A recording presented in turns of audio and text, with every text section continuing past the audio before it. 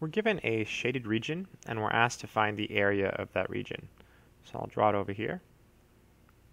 So we have the normal curve, and then we have 106, and we have 126. And looks like the area that's being shaded is the between area. So this is the area between 106 and 126. So this is the same thing as the probability that x is between these numbers. So the between probability always looks like this. This number goes here, and this number goes here. And you always have two less than signs. We're given the mean in this problem, so the mean is 100. That's our mu. And the standard deviation is 15. That's our sigma. So all we have to do is go to StatCrunch and select between, and we should have the answer. So go to question help, and then StatCrunch.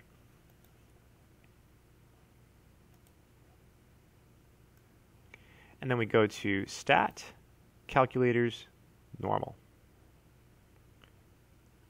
Left click. And then this is the between probability, so we want to click the between button. So the mean was 100. The standard deviation was 15. And then the 106 goes in the box here on the left. And the 126 goes on the box on the right. Click compute. There's the answer. Let me do it again. It's stat calculators. You go to normal. Drag it over here so we can see it. And the mean in this problem was 100. Standard deviation was 15. We click the between probability because it's between.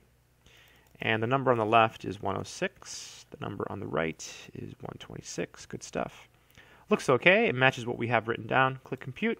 There it is, 0.3031 because the 6 rounds the 0 up to a 1. So 0.3031, 0.3031. Let's type it in.